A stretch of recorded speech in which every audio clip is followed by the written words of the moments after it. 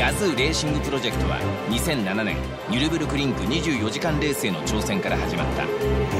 狙いは車を持つ喜び走る喜び語り合う喜びの追求。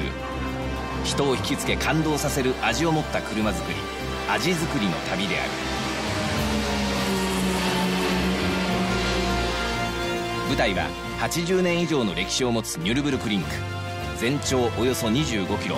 170を超えるコーナーの大半は先が見通せずコース幅は狭く無数の凹凸激しいアップダウンが連続する。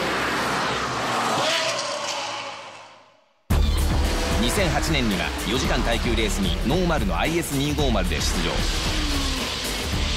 24時間レースには車両開発の一環として未発売のプレミアム2シータースポーツ LFA で挑戦した。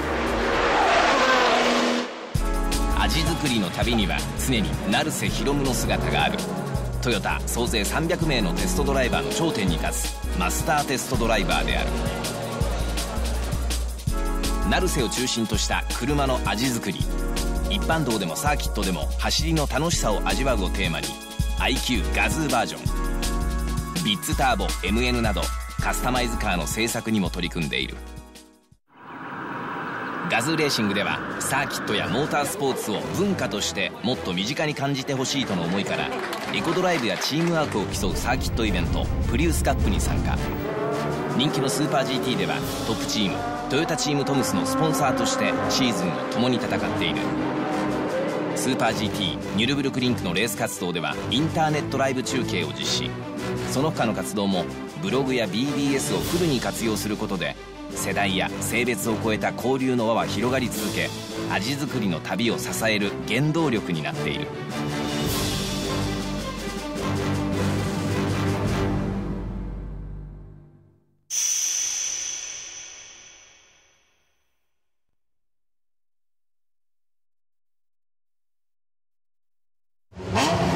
2009年4月ガズレーシングは未発売のプレミアム2シータースポーツ LFA の開発車両とともにニュルブルクリンクへ帰ってきた。LFA14 号車のドライバーは味作りの旅を続ける森蔵。コスタリカでトヨタ販売代理店を経営するハビエル・キロス。17回目の24時間木下隆之国内外での経験豊富な飯田明の4人。もう1台の15号車はトヨタのマスターテストドライバー成瀬宏夢。ドイツ出身のベテランアーミン・ハーネ同じくヨッヘン・クルンバッハ。ドイツ出身日本のトップカテゴリーで活躍するアンドレ・ロッテラー。15号車はクラス2位。14号車はクラス3位のポジションから決勝へ向かう。24万の大観衆の歓声のもと午後4時スタート。14号車の木下はオープニングラップで一気に10台をパス。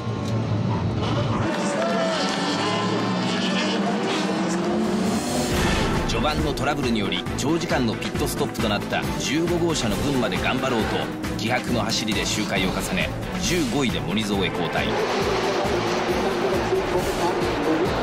車の評価をするための訓練を10年以上にわたり行っている森蔵は LFA の開発初期から携わってきた思いを胸に走る。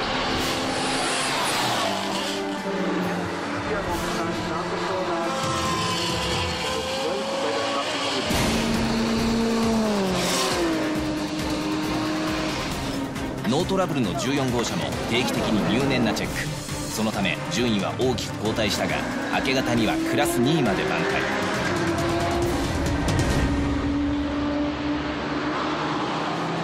しかし好調の14号車が充電系のトラブルで緊急ピットイン。その間15号車は昨年を30秒近くも上回るクラストップタイムをマークし続ける。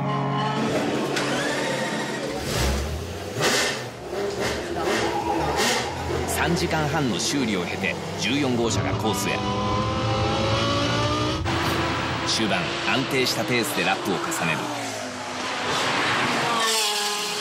る。残り30分ガズーレーシングの16号車 ISF を成瀬14号車のステアリングが森蔵に託された。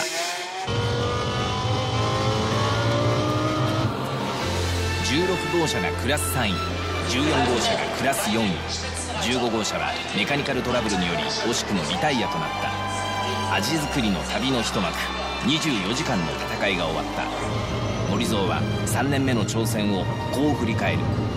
いやいろんな味を楽しみましたね。本当に車の開発、えー、に携わってもらった嬉しさ。そういう目的を持って今回あの乗りましたんでね。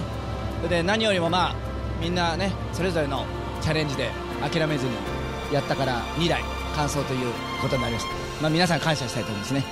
まだ振り返るには早すぎますよ。まだまだ前を向いていきます。